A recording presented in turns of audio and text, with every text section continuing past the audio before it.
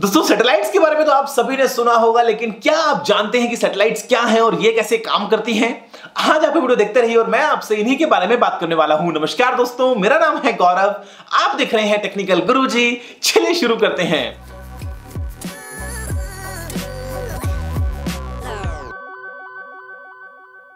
दोस्तों हो सकता है आपने पता लगाने की कोशिश की हो कि सैटेलाइट क्या है, वो कैसे काम करती है, वो हवा में कैसे टिकी रहती है, लेकिन बाद में शायद आपका ध्यान इतना ज़्यादा ना रहा हो।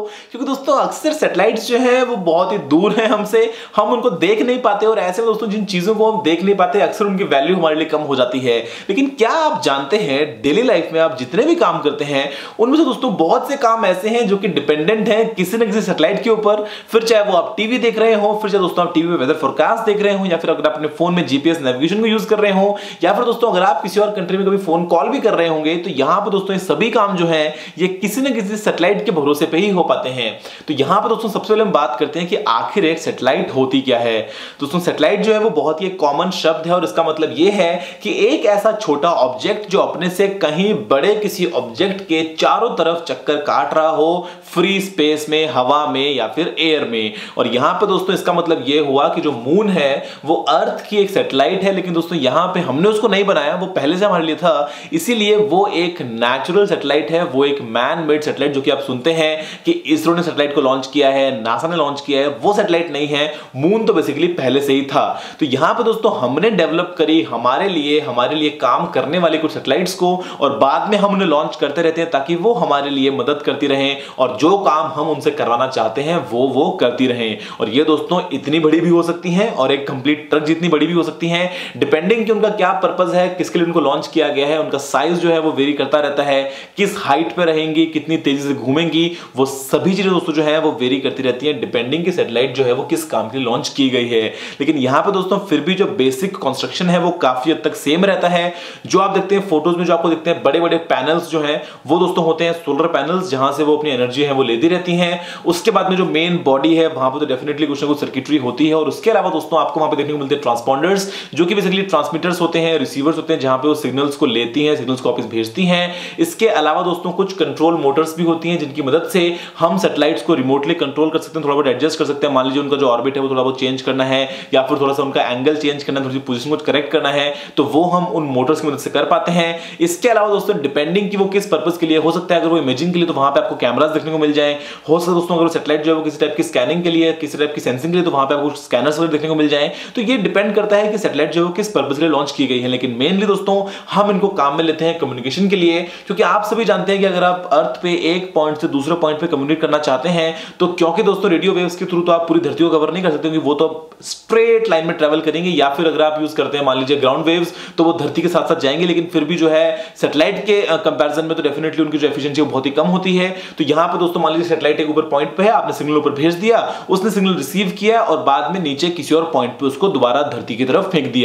दोस्तों, इसके अलावा हम जिनको काम में लेते हैं, वो लेते हैं नेविगेशन के लिए, या फिर मान लीजिए इमेजिंग के लिए, या फिर सेंसिंग वगैरह के लिए। तो यहाँ पे दोस्तों, इसी बेसिस पे सैटेलाइट्स जो हैं, वो हमारे लिए काम करती रहती है। लेकिन सबसे बड़ा सवाल कि वो हवा में टिकी कैसे रहती हैं? दोस्तों, इसको लेके बहुत ही सिंपल लॉज हैं, जो कि बनाए थे जॉन कैपलर ने। और उन्होंने ये बताया था कि अगर किसी भी ऑब्जेक्ट को स्पेस में रहना है, किसी और ऑब्जेक्ट के तो चक्कर लगाने हैं ऑर्बिट करना है तो अगर वो एक फिक्स्ड स्पीड पे फिक्स्ड वेलोसिटी पे दोस्तों मूव करता रहता है, और वो अगर अपने एक पाथ जो उसको ट्रेस करता रहता है तो ऐसे में वो टिका रहेगा अपने उसी ऑर्बिट में, वो नीचे आके वापस से नहीं गिरेगा, क्योंकि जो उसकी स्पीड है दोस्तों, वो काउंटर बैलेंस करती है उस ग्रेविटेशनल फोर्स को। लेकिन यहाँ पे जो स्पीड है दोस्तों, ये वेरी करती है डिपेंडिंग की कितनी हाइट है, कितना डिफरेंस है उस ऑब्जेक्ट के बीच में, छोटे और ऑब्जेक्ट और बड़े ऑब्जेक्ट के बीच में। तो धरती के जो नज़दीक है सैटेलाइट्स वो दोस्तों बहुत ही तेज़ी से चक्कर काटती हैं। जो धरती से बहुत दूर है, वो थोड़ा स्लो चक्कर काटती हैं। लेकिन सभी का प्रिंसिपल वही है और इसीलिए वो हवा में टिकी रहती हैं। अब यहाँ पर दोस्तों देखिए जो सैटेलाइट्स हैं, वो तीन अलग कैटेगरीज में डिवाइड करते हैं, सबसे पहले होती है लो अर्थ ऑर्बिट सैटेलाइट्स